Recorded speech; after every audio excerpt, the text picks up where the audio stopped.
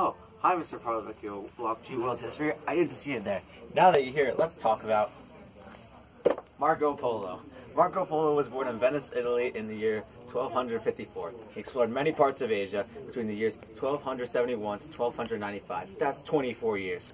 He had traveled from Venice via the Mediterranean Sea to the northwestern tip of Arabia, then traveled north to the southern tip of the Black Sea.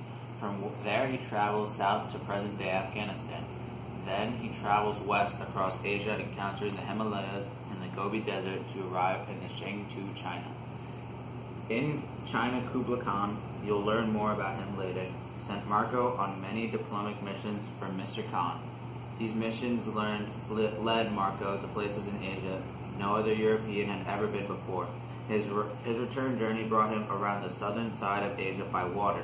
He then landed in present-day Afghanistan, traveling northwest to the Black Sea, all the way to Constantinople, and then back to Venice.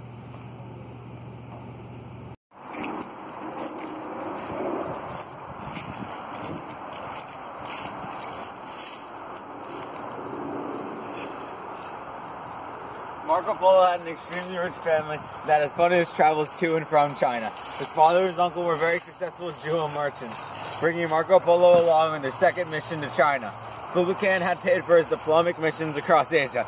Kublai Khan was also the fifth Khagan of the Mongol Empire, as well as the founder and first emperor of the Yuan dynasty.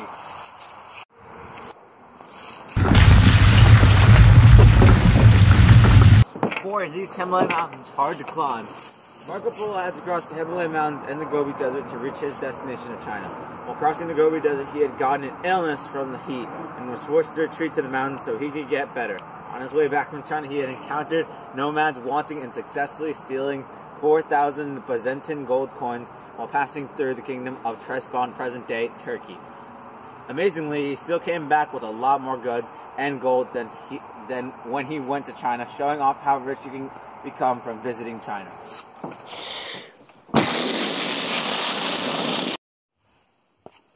Marco Polo's intention for traveling to Asia was that he wanted to establish trade relationship between the Europeans and the Asians. Marco Polo had brought a lot of the Western culture to Asia and Eastern culture to the West. Because of his extensive and successful travel, he influenced the Europeans and the Chinese to travel and explore new lands. Instead of being celebrated for coming back with all his gold and goods, as well as establishing a trade route with Asia, Marco Polo was sent to prison because he was captured in the war between the cities of Genoa and Venice. Marco led a galley, a vessel used in war, propelled mainly by oars, to Genoa to help and aid Venice in the war efforts. Whilst in prison, his cellmate Rustichello de Pisa, an author, helped Marco Polo write a book about his travels to and from China. After being released, his book was published, making him a celebrity in a lot of Europe. He was celebrated for his successful mission to China and influencing many others to take the risk of traveling.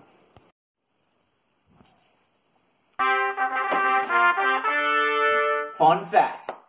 Marco Polo had a pet sheep named Marco Polo. When he left for Asia, he was only 17, a few years older than most of us. Wow. Despite popular belief, Marco Polo was not the first European to go to Asia.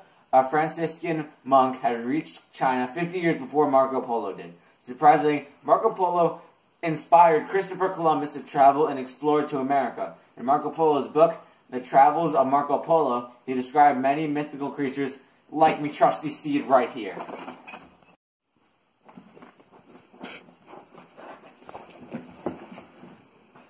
Marco Polo was a very important explorer, influencing explorers all across the world.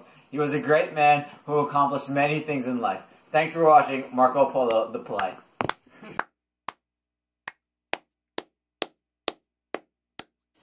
Master's now lining up for the pitch. What up?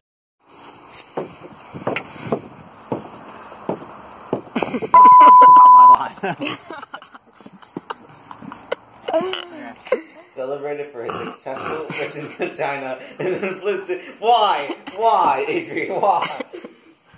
Eastern war propelled mainly by Venice. Oars, oars. why, why is this so bad?